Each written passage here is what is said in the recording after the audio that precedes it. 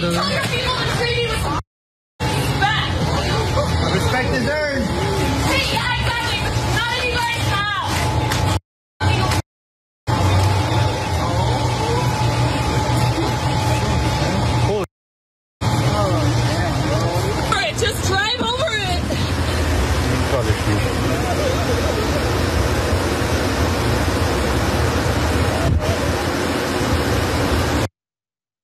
Karenicity and this one runs deep. Um, this is a Whole Foods, according to the person who posted it. And I'm going out on a limb here. But Whole Foods is, you know, expensive, which means the amount of property you damage, madam, is likely in felony territory once added up. So I don't know exactly what was happening. I'm not sure if someone offended you. Maybe they did.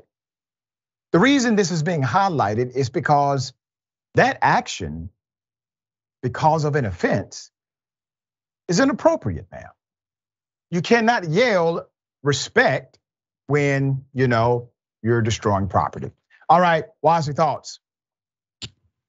Man, uh, that that that is a, some expensive lemons, as you as right. you mentioned, and those pots, those, those plants ain't do nothing to nobody, man. Not For her to just be just throwing them on the ground like that, and and it makes you wonder, right? Whole Foods usually doesn't have a robust security apparatus, especially if you're not like um in a high sort of homeless area, right? A lot of times there'll be security guards to guard against that, but realistically, you need to be guarded against these Karens, man. She was she was pissed. Yeah. My goodness. And I and I really but I would hope that the cops did pay her a visit to her front door. Yeah. And be like, "Miss, this this can't this can't happen again or else you're getting locked up."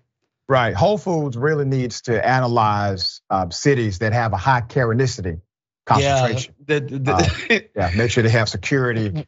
We need more university um, backed uh, research into those yeah. areas, Dr. Richey. I know That's you're right. very closely affiliated to the academic world. We might yeah. we might need some grants to give to some some professors um, to, to to study this because it seems to be an epidemic. Yeah. In the meantime, I stay away from Whole Foods that are around um, Karens. Okay.